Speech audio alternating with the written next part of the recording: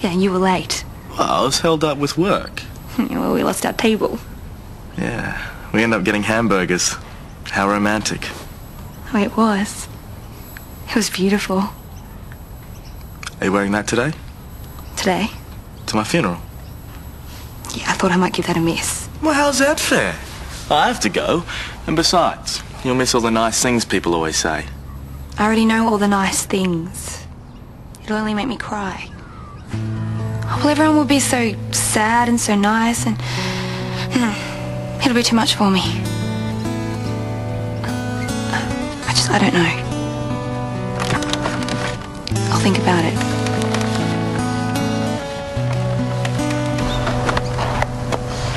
Hey, I remembered we had all this paint.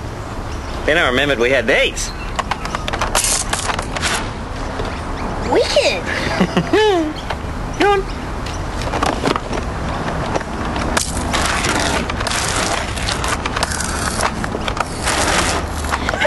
Who could ever get sick of this? Yeah, painting's not so boring after all, huh? No. Get another gun. Let's get it on!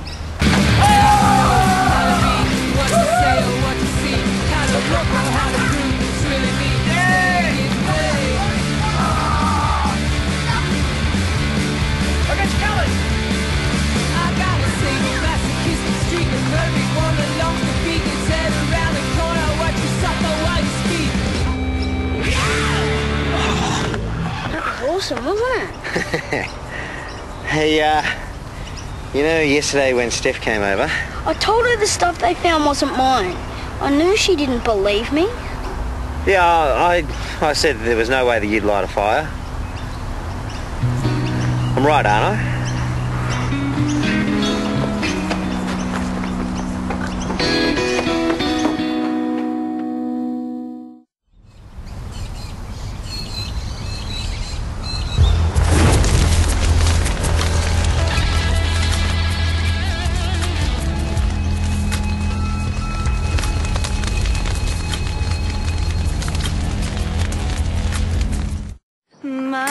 Pays the ultimate tribute to her husband,